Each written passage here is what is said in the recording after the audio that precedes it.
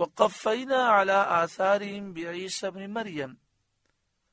اور ہم ان نبیوں کے پیچھے ان کے نشان قدم پر عیسیٰ بن مریم کو لائے۔ مصدقا لما بین یدیہ من التورات۔ تصدیق کرتا ہوا توریت کی جو اس سے پہلے تھی۔ توریت کے احکام کے بیان کے بعد انجیل کے احکام کا ذکر شروع ہوا۔ اور بتایا گیا کہ حضرت عیسیٰ علیہ السلام توریت کی تصدیق کرنے والے ہیں۔ عیسیٰ علیہ السلام نے یہ بات بتائی کہ توریت اللہ کی طرف سے نازل ہوئی ہے اور حضرت عیسیٰ علیہ السلام نے توریت پر عمل کرنے کا حکم دیا۔ پھر اللہ تعالیٰ کے حکم سے حضرت عیسیٰ علیہ السلام نے احکام میں تبدیلی فرمائی اور انجیل میں جو مختلف احکام آئے، جو توریت سے مختلف تھے، وہ آپ نے بیان فرمائے۔ اور جب تک یہ چیزیں نازل نہیں ہوئی تھی، آپ لوگوں کو توریت پر عمل کرنے کا حکم فرماتے۔ تو توریت اور انجیل میں چند احکام میں فرق ہے۔ جس طرح توریت، انجیل کے احکام اور قرآن کے احکام میں فرق ہے، اصول تو ہر کتاب میں ایک ہی ہیں۔ عقائد جو بنیادی ہیں، وہ ہر کتاب میں ایک ہی ہیں۔ حضرت آدم علیہ السلام سے لے کر پیارا آقا صلی اللہ علیہ وآلہ وسلم نے ایمان کے بنیادی اصول جو بیان فرمائے وہ ایک ہی ہیں۔ ہاں شریعت کے بعض احکام میں فرق ہے۔ وہ آتی الانجیل فی ہدم و نور اور ہم نے عیسیٰ بن مریم کو انجیل عطا کی جس میں ہدایت و نور ہے۔ وہ مصدق لما بین یدیہ من التوراہ اور تصدیق فرماتی ہے توریت کی کہ اس سے پہلے تھی۔ یہ انجیل اس توریت کی تصدیق فرماتی ہے جو انجیل سے پہلے تھی۔ وہ ہدوں و موعظۃ للمتقین اور یہ ہدایت ہے اور پرہیزگاروں کے لیے نصیحت ہے۔ اس آیت میں انجیل کے لیے لفظ ہدن دو جگہ ارشاد ہوا۔ پہلے فرمایا وہ آتی نا انجیل افی ہدم و نور اور ہم نے عیسیٰ بن مریم کو انجیل دی۔ اس میں ہدایت اور نور ہے۔ یہاں ہدایت سے مراد یہ ہے کہ انجیل وہ کتاب ہے جو جہالت کو دور کرتی ہے، گمراہی کو دور کرتی ہے۔ اور پھر آگے فرمایا منت توراتی و ہدم و موعظۃ للمتقین کیا ہدایت سے مراد ہے کہ انجیل میں نبی اکرم صلی اللہ علیہ وآلہ وسلم کی آمد کا ذکر ہے اور یہ نبی اکرم صلی اللہ علیہ وآلہ وسلم کی آمد کا راستہ لوگوں کو بتاتی ہے کہ یہ وہ پیارے آقا ہیں کہ جن پر تم ایمان لاؤ گے تو ایمان لا کر اللہ کا قرب پا جاؤ گے وَلْيَحْكُمْ أَهْلُ الْإِنجِيلِ بما انزل اللہ فی اور چاہیے کہ انجیل والے حکم کریں اس پر جو اللہ نے اس میں اتارا۔ یعنی انجیل والوں کو چاہیے کہ وہ انجیل کے آکام پر عمل کریں۔ اس لیے انجیل نازل ہوئی۔ وملم یحکم بما انزل اللہ فاولئک الفاسقون اور جو اللہ کے اتارے پر حکم نہ کرے تو وہی لوگ فاسق ہیں۔ یہاں مراد یہ کہ اہل انجیل کو چاہیے تھا کہ وہ انجیل کے حکام پر عمل کرتے یعنی سید انبیاء صلی اللہ علیہ وسلم پر ایمان لاتے چونکہ انجیل میں یہ حکم ہے۔ یہ اہل انجیل سے مطالبہ ہے انجیل کا۔ وہ انزلنا کل بالحق۔ اور اے محبوب، ہم نے آپ کی طرف سچی کتاب اتاری۔ مصدق لما بین یدئی من الکتابی جو پچھلی کتابوں کی تصدیق فرمانے والی ہے، پچھلی کتابوں کی تصدیق فرماتے ہوئے آئی ہے۔ وہ محمن علیہ اور ان پر محافظ اور نگبان ہے، گواہ ہے۔ فاحکم بینہم بما انزل اللہ، تو ان میں فیصلہ کریں اللہ کے اتارے سے۔ یعنی جب اہل کتاب اپنے مقدمات آپ کی طرف رجوع کریں، تو آپ صلی اللہ علیہ وسلم قرآن پاک سے فیصلہ فرمائیں۔ ولا تتبع اهواءهم عما جاءك من الحق۔ اور اے سننے والے ان کی خواہشوں کی پیروی نہ کرنا، اپنے پاس آیا ہوا حق چھوڑ کر۔ اے قرآن پڑھنے والے، یہود و نصارہ کی خواہشات کی پیروی نہ کرنا، حق کا دامن مضبوطی سے تھامنا۔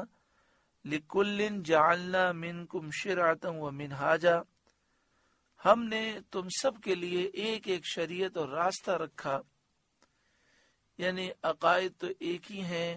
اسلام کی بنیادی تعلیمات ایک ہی ہیں، لیکن ہر نبی کے دور میں، دور کے تقاضوں کے مطابق شرعی احکام، نماز، روزے، زکوٰۃ کے احکام مختلف رہے۔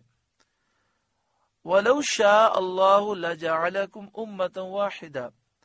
اور اللہ چاہتا تو تم سب کو ایک ہی امت کر دیتا۔ وَلَكِنْ لِيَبْلُوَكُمْ فِي مَا آتَاكُمْ مگر منظور یہ ہے کہ جو کچھ تمہیں دیا اس میں تمہیں آزمائے۔ اللہ تمہیں امتحان میں ڈالے۔ تاکہ ظاہر ہو جائے کون اللہ کی پیروی کرتا ہے اور کون نفس کی پیروی کرتا ہے۔ فس طبق الخیات تو بھلائیوں کی طرف سبقت چاہو، نیکیوں میں آگے نکل جاؤ۔ اللہ مرجعکم جمیعا۔ تم سب کا پھرنا اللہ ہی کی طرف ہے۔ فَيُنَبِّئُكُمْ بِمَا كُنْتُمْ فِيهِ تَخْتَلِفُونَ۔ تو وہ تمہیں بتا دے گا جس بات میں تم جھگڑتے تھے۔ وَأَنِحْكُمْ بَيْنَهُمْ بِمَا أَنزَلَ اللَّهِ۔ اور یہ کہ اے مسلمان، اللہ کے اتارے پر حکم کر۔ جو اللہ نے حکم نازل کیا، اسی حکم کو بیان کر، اسی پر فیصلہ کر۔ ولا تتبع اهواءهم اور ان کی خواہشوں پر نہ چل۔ واحذرهم اور ان سے بچ کر رہے۔ ان یفتنو کا عن بعد ما انزل اللہ الیک کہ کہیں تجھے لغزش نہ دے دیں کسی حکم میں جو تیری طرف اترا۔ مسلمانوں سے خطاب ہے، ہر مسلمان کو چاہیے کہ یہود و نصارہ کی سازشوں سے بچ کر رہے۔ کہیں ایسا نہ ہو کہ وہ قرآن کی تعلیمات سے ہمیں دور کر دیں۔ فین طلو پھر اگر وہ منہ پھیرے، اللہ کے نازل فرمائے ہوئے حکم کو نہ مانے، اس سے منہ پھیرے فعلم، تو تو جان لے۔ انما یرید اللہ ان یصیبہم ببعد ذنوبہم کہ اللہ ان کے بعض گناہوں کی سزا ان کو پہنچانا چاہتا ہے۔ وہ سزا یہ ہے کہ دنیا میں قتل، گرفتاری، جلا وطنی، یہ دنیا کی سزائیں ہیں اور آخرت کی سزا تو بڑی سخت ہے۔ وہ ان نہ کثیر من الناس لفاسقون اور بے شک بہت سے لوگ فاسق ہیں۔ یعنی اے لوگوں، تم دین اسلام کو تھام کے رہو۔ اگر یہ یہودی، عیسائی تمہاری بات نہیں مانتے تو تم قرآن کا دامن تھام کے رکھو۔ جو اللہ کے حکام کو نہیں مانے گا، وہ دنیا اور آخرت میں تباہ و برباد ہوگا۔ افا حکم الجاہلیت یبغون؟ تو کیا جاہلیت کا حکم چاہتے ہیں؟ ومن احسن من اللہ حکم لقومی یوقنون؟ اور اللہ سے بہتر کس کا حکم؟ یقین والوں کے لیے۔ بنی ندیر اور بنی قریضہ یہودیوں کے دو قبیلے تھے۔ ان میں باہم ایک دوسرے کا قتل ہوتا رہتا تھا۔ جب سید عالم صلی اللہ علیہ وآلہ وسلم مدینہ طیبہ میں تشریف لائے، تو یہ لوگ اپنا مقدمہ نبی اکرم صلی اللہ علیہ وآلہ وسلم کی خدمت میں لائے۔ بنو قریضہ نے کہا کہ بنو ندیر ہمارے بھائی ہیں۔ ہم اور وہ ایک ہی دادا کی اولاد ہیں، ایک دین رکھتے ہیں، ایک کتاب توریت مانتے ہیں۔ لیکن اگر بنو ندیر ہم میں سے کسی کو قتل کریں، تو اس کی دیت میں ہم کو ستر وسق کھجورے دیتے ہیں۔ اگر ہم میں سے کوئی ان کے کسی آدمی کو قتل کرے، تو ہم سے اس کی دیت میں ایک سو چالیس وسق لیتے ہیں یعنی ڈبل لیتے ہیں۔ آپ اس کا فیصلہ فرما دیں۔ تو آپ صلی اللہ علیہ وسلم نے فرمایا، میں حکم دیتا ہوں بنو قریضہ سے تعلق ہو، بنو ندیر سے تعلق ہو۔ قریضی ہو یا ندیری ہو، دونوں کا خون برابر ہے۔ کسی کو دوسرے پر فضیلت نہیں۔ اس پر بنو ندیر بہت غصے ہوئے اور کہنے لگے کہ ہم آپ کے فیصلے سے راضی نہیں، آپ ہمارے دشمن ہیں، ہمیں ذلیل کرنا چاہتے ہیں۔ اس پر یہ آیت کریمہ نازل ہوئی اور فرمایا گیا کہ کیا جاہلیت کی گمراہی اور ظلم کا حکم چاہتے ہو؟ افا حکم الجاہلیت یبغون؟ تو کیا جاہلیت کا حکم چاہتے ہو؟ ومن احسن من اللہ حکم لقوم یوقنون؟ اور اللہ سے بہتر کس کا حکم؟ یہ اللہ کا حکم یقین والوں کے لیے ہے۔ اللہ رب العالمین ہم سب کو عمل کی توفیق عطا فرمائے۔ اس پورے رکو میں بار بار فرمایا گیا جو اللہ کے حکم پر فیصلہ نہ کرے۔ وہ ظالم ہے، وہ فاسق ہے۔ آج مسلمان ذلیل اور رسوا اسی لیے ہو رہے ہیں کہ ہم نے شریعت کے احکام کو چھوڑ دیا۔ آئیے ہم یہ عزم کریں کہ اب ہماری زندگی شریعت کے احکام پر عمل کرتے ہوئے گزرے گی۔ ہمارے سارے فیصلے اللہ اور اس کے رسول کے حکم کے مطابق ہوں گے۔